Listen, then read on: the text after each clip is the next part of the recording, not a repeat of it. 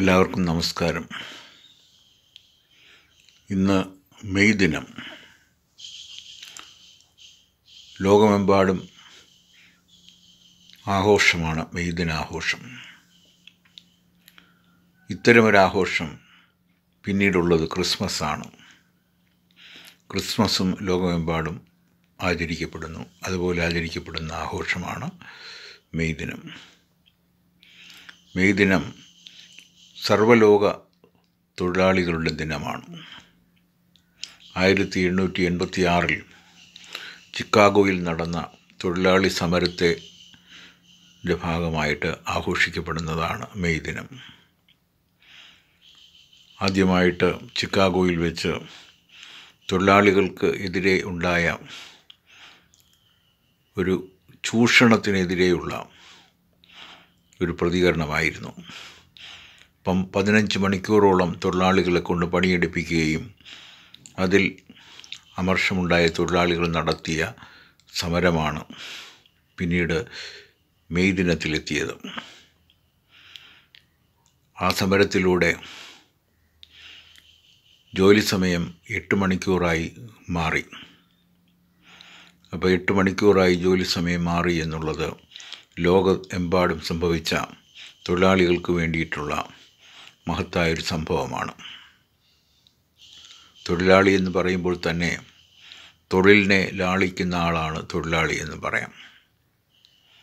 ലോകത്ത് ഏറ്റവും വലിയൊരു പ്രശ്നം അതാണ് തൊഴിലിനെ ലാളിക്കാൻ നമുക്ക് കഴിയുന്നില്ല. നമ്മൾ ലാളിക്കുന്നത് തൊഴിലിനെ അല്ല തൊഴിലിൽ നിന്ന് ലഭിക്കുന്ന പ്രതിഫലത്തെയാണ്. ഒരു കർമ്മം ചെയ്യുമ്പോൾ മൂന്ന് ഫലങ്ങളുണ്ടാകും. ഒന്ന് പ്രതിഫലമാണ് പിന്നെ ഒന്ന് കർമ്മഫലമാണ് മൂന്നാമത്തേത് ദൈവഫലമാണ്. കൂടുതൽ ആളുകളും ശ്രദ്ധിക്കുന്നത് പ്രതിഫലത്തെയാണ്. നമ്മളൊരു ജോലി ചെയ്താൽ കിട്ടുന്ന പ്രതിഫലം അതായത് സാലറി അതിനെക്കുറിച്ചാണ് എപ്പോഴും ചിന്തിച്ചുകൊണ്ടിരിക്കുന്നത്. പക്ഷേ കർമ്മഫലത്തെക്കുറിച്ച് നമ്മൾ ചിന്തിക്കുന്നില്ല. കർമ്മഫലം കൊണ്ട് ഉദ്ദേശിക്കുന്നത് നമ്മൾ ഒരു കർമ്മം ചെയ്യുമ്പോൾ അതിൽ നിന്നൊരു ഫലം ലോകത്തിന് ലഭിക്കണം. ഇപ്പോൾ ലോകത്തിന് നമ്മൾ ചെയ്യുന്ന കർമ്മത്തിന്റെ ഫലം ലഭിക്കണമെങ്കിൽ പൂർണമായും നമുക്ക് കർമ്മത്തിൽ ശ്രദ്ധയുണ്ടാകണം. ഇപ്പോൾ കർമ്മത്തിൽ പൂർണമായും ശ്രദ്ധിക്കണം. എന്നാൽ പ്രതിഫലത്തിൽ മനസ്സ് നട്ടിരിക്കുന്ന ഒരാൾ എപ്പോഴും ചിന്തിച്ചുകൊണ്ടിരിക്കുന്നത് പ്രതിഫലത്തെക്കുറിച്ചാണ്. ഇപ്പോൾ പ്രതിഫലത്തെക്കുറിച്ച് ചിന്തിക്കുന്ന ആൾ യഥാർത്ഥത്തിൽ തൊഴിലാളിയല്ല തൊഴിലിനെ ലാളിക്കുന്ന ആളല്ല. തൊഴിലിനെ ലാളിക്കുന്നുവെങ്കിൽ തൊഴിലിനോട് സ്നേഹമുണ്ടെങ്കിൽ നമ്മൾ ഇഷ്ടപ്പെട്ട് പണിയെടുക്കണം കഷ്ടപ്പെട്ട് പണിയെടുക്കുകയല്ല വേണ്ടത്. അപ്പോൾ ഇഷ്ടപ്പെട്ട് പണിയെടുക്കണമെങ്കിൽ തൊഴിലിനെ ലാളിക്ക് തന്നെ വേണം. അങ്ങനെ തൊഴിലിനെ ലാളിക്കുന്ന അവസ്ഥയിലേക്ക് തൊഴിലാളി മാറുകയും അങ്ങനെ ആ തൊഴിൽ കൊണ്ട് ഒരു സേ തൊഴിലിനെ തന്റെ തൊഴിലിനെ ഒരു സേവനമാക്കി മാറ്റുകയും ചെയ്യുന്ന അവസ്ഥ ഉണ്ടാകണം. ഇത്തരമൊരവസ്ഥയിൽ നമ്മൾ എത്തുകയാണ് വേണ്ടത്. ഇതിന് നമ്മൾ ശ്രദ്ധിക്കേണ്ടത് പ്രതിഫലത്തേക്കാൾ കർമ്മഫലത്തിനാണ്. പ്രതിഫലവും കർമ്മഫലവും കഴിഞ്ഞാൽ പിന്നീടുള്ളത് ദൈവഫലമാണ്. ദൈവഫലമെന്ന് പറയുമ്പോൾ പ്രതിഫലത്തെക്കുറിച്ച് ചിന്തിക്കുകയോ കർമ്മഫലത്തെക്കുറിച്ചോ ചിന്തിക്കുന്നതിനുമൊക്കെ അപ്പുറത്ത് നമ്മുടെ കർമ്മങ്ങളെ ലോകോപകാരാർത്ഥം ചെയ്യുന്ന ഒരവസ്ഥയിലേക്ക് നമ്മൾ മാറണം. സമസ്ത കർമ്മങ്ങളും ലോകത്തിന് സമർപ്പിച്ച് ചെയ്യുന്ന ഒരവസ്ഥ ഉണ്ടാകണം. സമസ്ത കർമ്മങ്ങളും ലോകത്തിന് സമർപ്പിക്കുന്ന അവസ്ഥ വരുമ്പോൾ അതിനെ ദൈവഫലമെന്ന് പറയാം. ഇപ്പോൾ ലോകത്ത് ഏറ്റവും മഹത്തായ കർമ്മങ്ങൾ ചെയ്തിരിക്കുന്നവരൊന്നും പ്രതിഫലത്തിലോ കർമ്മഫലത്തിലോ ശ്രദ്ധിച്ചവരല്ല.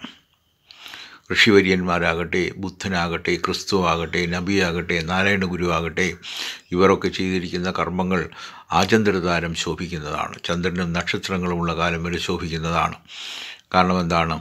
അവർ പ്രതിഫലത്തിനെ കുറിച്ച് ചിന്തിച്ചില്ല കർമ്മഫലത്തിനെ കുറിച്ച് ചിന്തിച്ചില്ല. അവർ ലോകത്തിന്റെ സമസ്ത കല്യാണത്തിന് വേണ്ടിയിട്ട് അവർ കർമ്മം ചെയ്യുകയാണ് ഉണ്ടായത്. അങ്ങനെ ലോകത്തിന്റെ സമസ്ത കല്യാണത്തിന് വേണ്ടി കർമ്മം ചെയ്തവർ ആണ് യഥാർത്ഥ കർമ്മം ചെയ്തവർ. അപ്പോൾ യഥാർത്ഥ കർമ്മം നമ്മൾ ചെയ്യുമ്പോൾ പ്രതിഫലത്തിനും കർമ്മഫലത്തിനും അപ്പുറത്ത് പൂർണമായ ലോക നന്മയ്ക്ക് വേണ്ടി നമ്മൾ കർമ്മം ചെയ്യുന്നവരായി മാറണം.